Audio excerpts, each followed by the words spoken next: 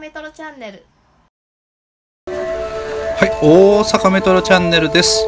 え今回はですね、えー堺水線の長堀橋、えー堺水線長堀橋駅に来ております。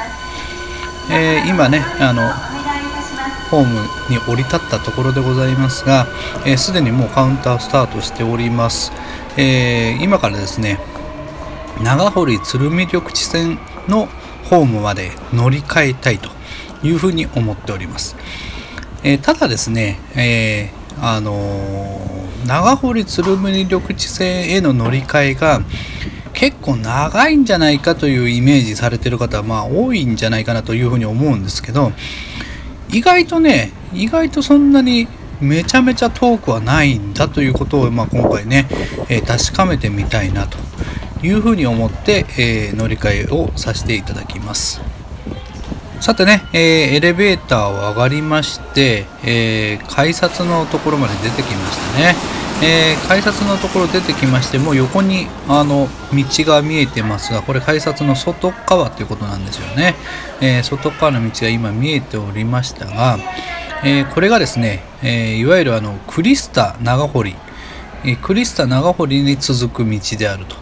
いうことですね。今見えてますね。今見えてる方向を、こちらがあのクリスタ長堀ということで、クリスタ長堀の方をあのずっと行きますとね、えー心斎橋駅、またあの四ツ橋、四ツ橋駅の方まで、えーずっとつながっているという、まあ、地下街ですね、えーその地下街のクリスタ長堀が今見えておりました。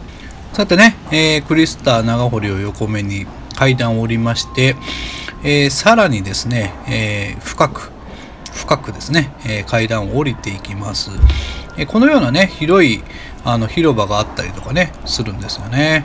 はい、ここを降りていきます。実はですね、もうここ降りちゃうともうホームなんですね。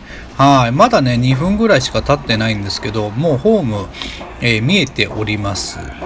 思ったより近いですよね。はい。まあ、せいぜいま2分30秒ってところじゃないでしょうか。乗り換えにかかる時間ですね。えーほぼ2分30秒っていうところだと思います。というところでね、タイマーを止めます。はい、えー、長堀鶴見緑地線のホームにやってまいりました。思ったよりね、やっぱりあの近かったですね。2分30秒。というところでね、えーここで動画を終わりたいと思います。皆さんありがとうございました。それでは、さようなら。